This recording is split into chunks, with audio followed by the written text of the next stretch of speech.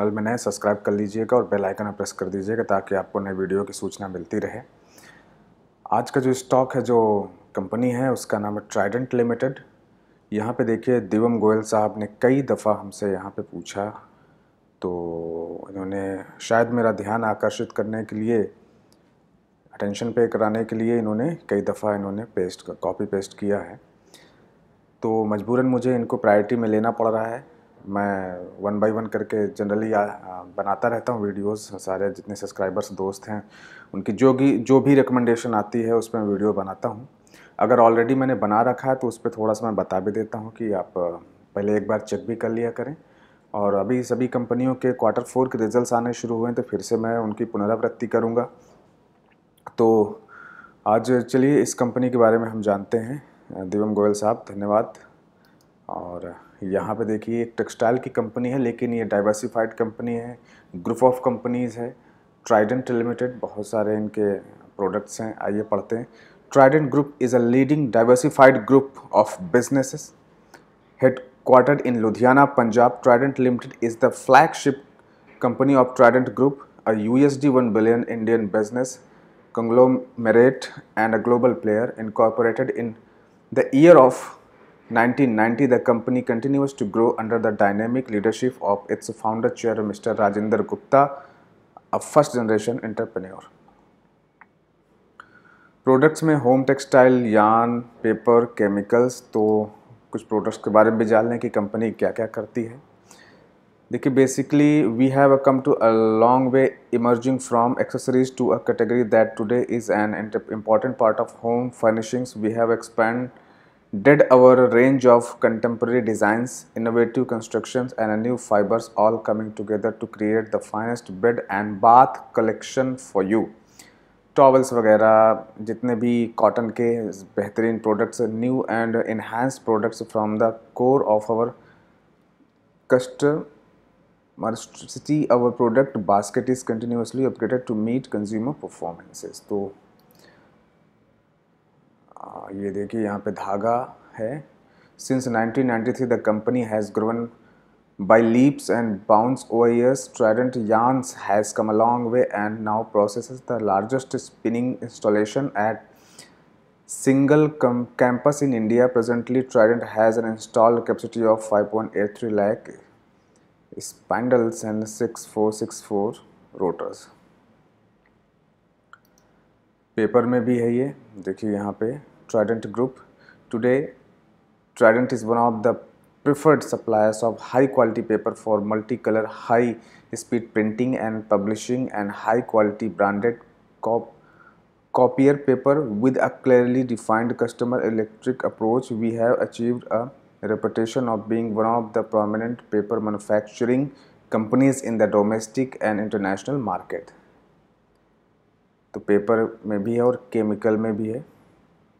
ये देखिए इनके chemicals Torrent limited is the leading sulphuric acid manufacturer in India offering superior quality and improved efficiency brings to you L R A R great sulphuric acid based on बोरोलिस्ट बोरोलिस्टकेट class make बोरोसिलिस्टिकेट sorry मैं माफ़ी चाहूँगा class make facility from De Dietrich process systems Germany world leader in the field of glass plants as a result चलिए chemical में भी है और energy में भी है। तो डाइवर्सिफाई कंपनी है keeping in view the increasing requirements of our continuously expanding operation we at Trident generation generate captive power to meet the demands of the industry with theme of energy conservation and green environmental we are producing system and power using eco-friendly process. That total black liquid effluent of per process along with Biomass and coal is used to generate high pressure steam in cogeneration process. Uh, the first unit of 9.4 megawatt got commissioned in 1999 the production capacity of which has now been increased to 50 megawatt तो इनके 50 megawatt produce करते हैं energy में। तो ये आपको, मुझे लगता है कि अब पता चल गया होगा कि टेक्सटाइल की ज़बरदस्त कंपनी विद डाइवर्सिफाइड एनर्जी में भी है, केमिकल में भी है, पेपर्स में भी है। तो हम अभी जान लिए, और भी आप विस्तार पूर्वक जानना चाहते तो इसके वेबसाइट पर विज़िट कर सकते हैं। मैंने आपको ब्रीफ में बताया बल्कि बल्कि मैंने सारा चीज़ पढ़ा। अब चलते हैं आज का इसका क्या भाव है। ट्राइडेंट लिमिटेड टेंथ में 2019 आ, समय हो रहा है ग्यारह बज के पैंतालीस मिनट पैंसठ रुपये पैंतीस पैसे पे ट्रेड हो रहा है और बीएससी पे वो भी और 52 वीक जो लो था इक्यावन रुपये पंद्रह पैसे और हाई था पचहत्तर रुपये सत्तर पैसे। हंड्रेड परसेंट लोग कह रहे हैं bike buy it buy it और स्टैंड अलोन के हम लोग चार्ट पे हैं मार्केट कैप है तीन हज़ार तीन सौ बत्तीस करोड़ की ईपीएस है छः रुपये पचास पैसे पी है टेन पॉइंट ज़ीरो सिक्स की book value fifty seven point zero eight की तो बुक वैल्यू के आसपास ही अपना ट्रेड कर रहा है। प्राइस टू बुक है वन पॉइंट वन फाइव की एंड इंडस्ट्री पी है ten point nine six deliverable है सिक्सटी परसेंट के आसपास।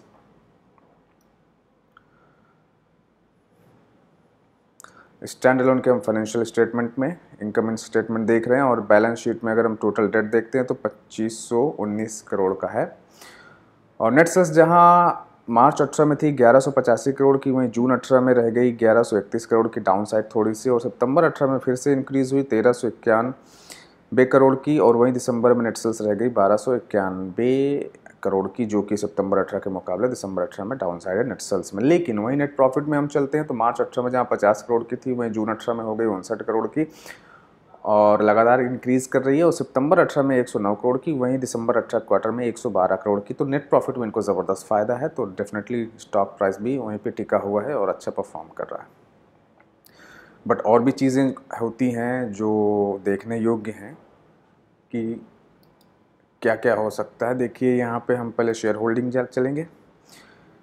और डेफिनेटली यहाँ पे प्रमोटर्स के पास सत्तर परसेंट से ज़्यादा की होल्डिंग है, ये एक ज़बरदस्त है और कोई भी शेयर इनका गिरवी नहीं है। म्यूचुअल फंड्स की zero point four, one four percent की स्कीम्स ने और domestic institutional investors one point zero two, foreign institutional investors one point eight percent की और non institutional twenty six point two six percent के आसपास।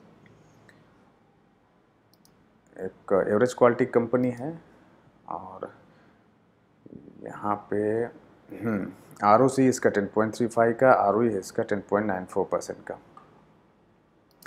Returns में देख लेते हैं कि दस सालों में इसने सवा छः सौ परसेंट के आसपास का रिटर्न दिया है छः सौ पंद्रह परसेंट के और पाँच सालों में ढाई सौ परसेंट के तो यहाँ तक तो अट्रैक्टिव चार सालों में भी एक सौ इक्यासी परसेंट के रिटर्न है तो चलिए यहाँ तक भी ठीक है, लेकिन पिछले तीन सालों में, तीन सालों में इन्होंने छब्बीस परसेंट के आसपास रिटर्न दिए, लेकिन दो सालों से लगातार, दो सालों में तेईस परसेंट के नेगेटिव है। वन ईयर में इन्होंने three point four eight percent की जंप मारी है positive return but year till date one point seven three percent के नेगेटिव सिक्स मंथ में six point seven seven percent के नेगेटिव थ्री मंथ्स में फोर पॉइंट सिक्स फोर के positive return है, लेकिन वन मंथ में टू पॉइंट फोर सिक्स के negative है। और वन डे में यहाँ पे ज़ीरो पॉइंट सेवन सेवन आज थोड़ी सी यहाँ पे अपसाइड दिखा रही है। तो पिछले एक दो साल से तो सभी स्टॉक्स पे पिटाई चल रही है, क्योंकि लगातार एनीवेज और ये देखिए, यहाँ पे इन्होंने एक रुपये बीस पैसे पर शेयर के हिसाब से 24 जनवरी को इन्होंने डिविडेंड पे किया है। तो हर साल ये डिविडेंड भी पे करती है। टेक्सटाइल ट्राइडेंट 1990 से काम कर रही है और अपनी इंडस्ट्री में सिक्स नंबर पे है। दोस्तों, अभी इस पर मैं कुछ कह नहीं सकता। जिन्होंने पूछा है, उन दोस्त को मैं कहना चाहूँगा कि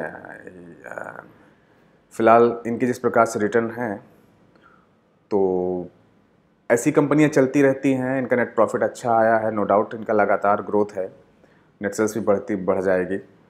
लेकिन इस पर मैं रिकमेंडेशन नहीं दे सकता क्योंकि अभी बहुत ज़्यादा बेहतरीन या बहुत ज़्यादा पोटेंशियल जबकि ऐसे अदर सेक्टर्स में अगर हम चाहें, जिसमें पैसे बना सकते हैं अच्छे तो आपको एक बात ये समझनी होगी कि आने वाले, मान लीजिए चार पाँच साल, अगर स्टेबल गवर्नमेंट आती या नहीं भी आती तो आपको ये देखना होगा कि किससे संबंधित, ऐसी कौन सा सेक्टर है जो सारे इंडस्ट्रीज़ से जुड़ा हुआ है। तो बैंकिंग मुझे बहुत अट्रैक्टिव लग रहा है आने वाले समय में चार से पाँच साल का।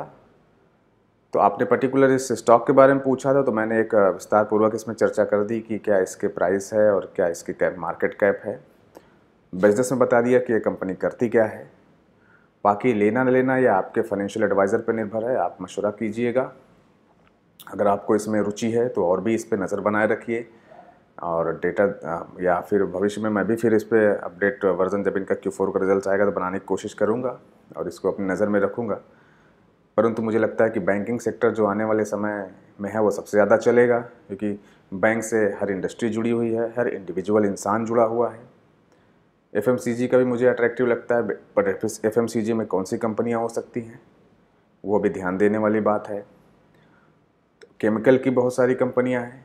केमिकल की कंपनियों में कौन सी कंपनी बेहतरीन है, उस पर भी ध्यान देना होगा। तो आज मैं यहीं पे अपना वीडियो वाइंड अप करता हूँ। और फ्रेंड्स अगर आपने सब्सक्राइब नहीं किया तो ज़रूर हमारा चैनल सब्सक्राइब कर लें। Thanks for watching this video